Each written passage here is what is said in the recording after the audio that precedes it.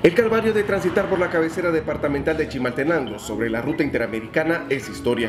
El gobierno de la República habilitó hoy el libramiento de 15.32 kilómetros, que con cuatro carriles permitirá el tránsito expedito entre la capital y el occidente del país. En el acto de apertura, que se dio paralelo a la actividad oficial del Sistema Nacional de Prevención en Semana Santa Sinapresa 2019, participó el presidente de la República Jimmy Morales, el vicepresidente Jafet Cabrera y miembros del gabinete de gobierno. Estar el día de hoy aperturando de forma total el libramiento de Chimaltenango.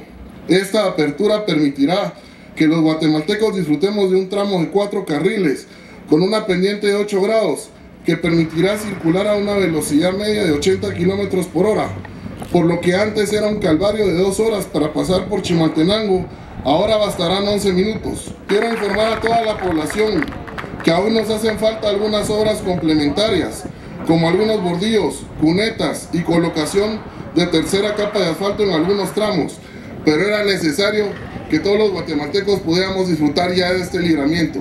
Esto no nos afecta en absolutamente nada para la circulación de los vehículos. Estos trabajos serán realizados de noche, las carreteras son nuestros corredores logísticos por donde circula la economía nacional, la educación, la salud, el desarrollo, el empleo.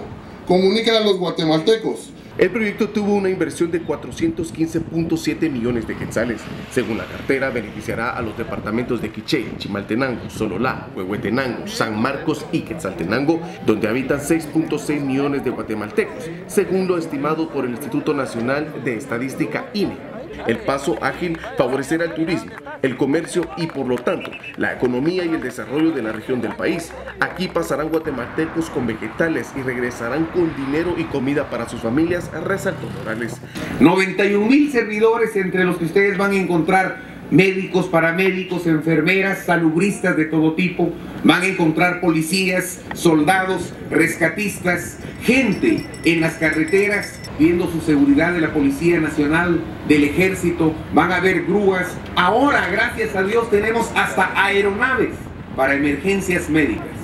Son 14 campamentos que van a estar ubicados en lo que respecta playas, balnearios y procesiones donde se desplaza la mayor parte de personas en esta Semana Santa.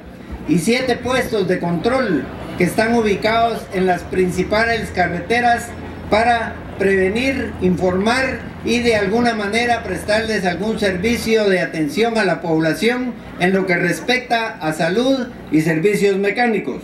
Expresó asimismo su deseo de que el 22 de abril se pueda reportar cero muertes y un logro que es responsabilidad de todos. Para DCAT Informo, Noé Pérez.